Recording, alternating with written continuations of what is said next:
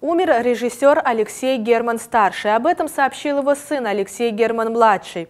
Алексей Герман-старший – советский и российский кинорежиссер, сценарист, актер и продюсер, народный артист Российской Федерации. Родился 20 июля 1938 года в Ленинграде. Снял такие шедевры отечественного кинематографа, как «Проверка на дорогах», «20 дней без войны», «Мой друг Иван Лапшин», «Хрусталев машину».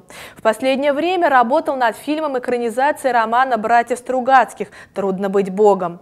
Последний раз, когда я его видел в сознании, он диктовал письмо в поддержку киностудии «Ленфильм», студии, где он проработал всю жизнь, которую удалось спасти во многом и ценой его здоровья, написал сын режиссера. Для меня отец всегда был образцом достоинства, нестяжательства и честности. Он никогда не хотел дорогих машин или роскошных костюмов. Он считал, что в нашей стране интеллигент не должен превращаться в вора и богача. Верил во что-то иное, чем в то, что сейчас стало основным.